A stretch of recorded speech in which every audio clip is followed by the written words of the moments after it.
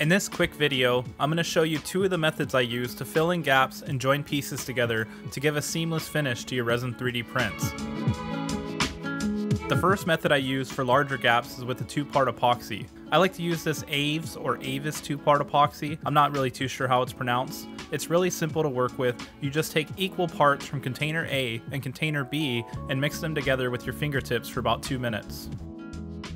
Once it is well mixed together, I form it into the general shape needed for the gap and then apply it to the piece. So for this fairly large gap on the base, I will roll it out into an almost noodle-like shape.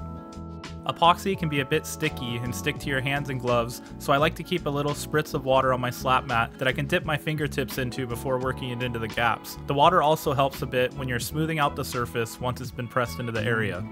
Once it is applied, I use a paint mixing knife to flatten out the top and remove any excess epoxy. I also use it to carve in matching details to make the gap as seamless as possible. Once the gap is filled in, you want to wait at least a few hours to let the epoxy harden before attempting to sand it down for a final finish. Ideally, you want to wait 24 hours, but 4 to 5 hours is usually fine. This is really the only two-part epoxy I've used, and it is a bit expensive, but a little bit goes a long way with this stuff. I've been using this for about 5 months and I've barely dented the surface of these containers, and once it is hardened, it is really durable to work with. But there are a lot of cheaper two-part epoxies that I'm sure would work as well.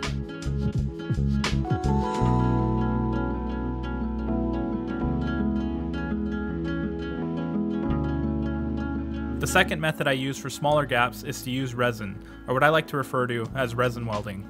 This technique uses whatever resin you're using for your prints along with a UV flashlight to quickly cure the resin and fill in the gap.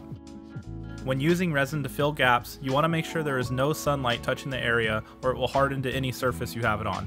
Even indirect sunlight will slowly harden the resin, so keep it away from any sunlight and also make sure you're using proper UV protective glasses.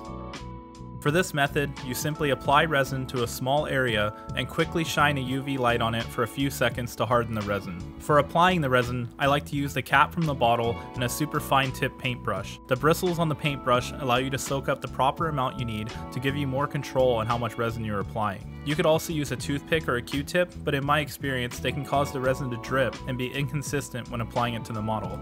When resin welding, make sure you're working in small areas to keep the resin under control. If the resin seeps too far into the gap, it can be trapped in your model with no real way of curing it, so just work slow and in small sections. It can seem kinda awkward at first, but you will eventually get into a groove and the process will feel a lot smoother.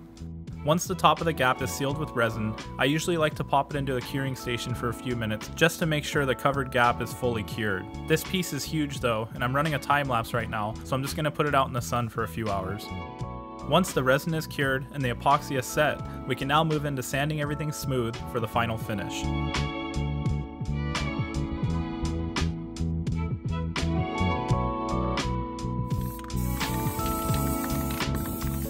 And after sanding and a quick coat of primer, this is the ready to paint finished piece.